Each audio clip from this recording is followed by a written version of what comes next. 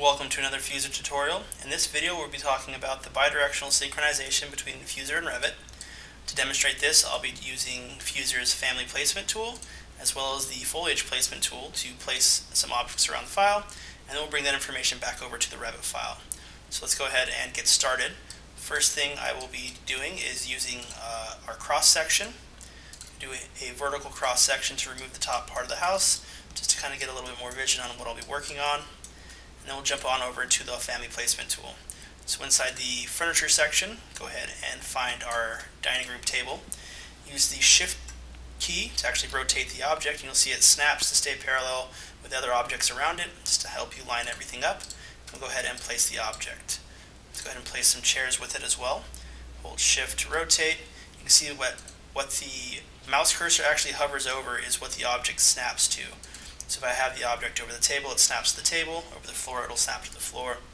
And this offset will be applied when it syncs back over into Revit. So if you're trying to place, you know, objects on shelves or anything like that, uh, this will keep that offset when syncing it back. Let's go ahead and place three more. Um, just kind of place them off to the side a little bit. And we can adjust this uh, later. So these are a little bit uh, offset, so select all three. So uh, control select, and do refit. This will actually allow you to move all of them at once. And we can go ahead and move these to be underneath the table. There we go. And go ahead and click finish. Let's go ahead and align this guy as well. Bring him in a little bit. All right, perfect. So let's head over to the other room. Let's do the bedroom as well. So I'm going to fly over here and place a bed with some shelves. So at the top we have our bed. One thing to note, you can actually turn apply refit physics. So if I enable this, this actually prevents objects from going through another object, so I won't be able to actually move this bed uh, through the wall. So this will just help with uh, lining everything up, making sure you don't have objects kind of protruding through each other. Um, if we go down and place some casework as well, so let's do some shelves. We have our nightstand. Shift to rotate this object. You can see that my mouse, my mouse is over the wall, so the object to stay snapped to the wall. So place one there come over here and place one on this side as well. There we go. So we have our shelves and our bed. Let's go ahead and back out of this. And let's turn our cross section off. Brings back the rest of the house. And let's bring this information back over to our Revit file. So as we jump over to Revit, we can do our, let me go ahead and full screen this. Inside the Fuzor plugin tab, we have a request sync back. As I select that, this opens up this UI that says, hey, these are all the objects that we've found that are different. Uh, do you want us to bring those back? So you can select just individual objects or groups of objects. Um, will go ahead and select all and sync selected. As you can see here, we have uh, red to green. So green means it was successful, uh, and the object is actually placed in our Revit file. So to view these, let's see we have our bed, so click view. It'll jump to where our bed is. So here's our bed, and there's a piece of casework. If we have uh, jump down here, we have our dining room table. Click view. Here's our dining room table with all of our chairs. Let's go ahead and exit out of that. We can back up a little bit. All right, let's go ahead and do our family placement, uh, or not family placement, but our foliage placement. So for that, we'll come outside.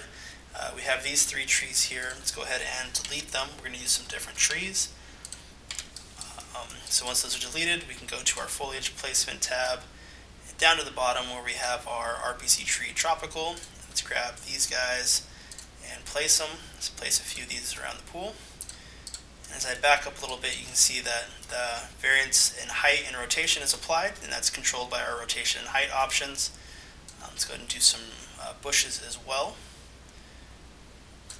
Let's grab this little guy, place these guys around. As I place them, you'll see that you know it just picks a random height for all these different objects. You can go in and select them, use the move tool which actually lets you rotate or scale them if you want to make any adjustments to them after you've actually placed them.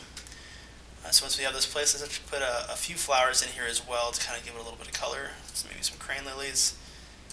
Place these guys around. There we go. So we have our foliage placement. Let's go ahead and bring these changes back over to our Revit file. So as I jump back into Revit and do request sync back, we get this uh, pop-up that says there's 17 changes, but they're actually done inside Backbone Terrain. So one of the linked files that's associated with the file we had open. So we can actually go ahead and press continue and Revit's gonna or Fuzor's gonna launch a second instance of Revit that opens up that terrain file.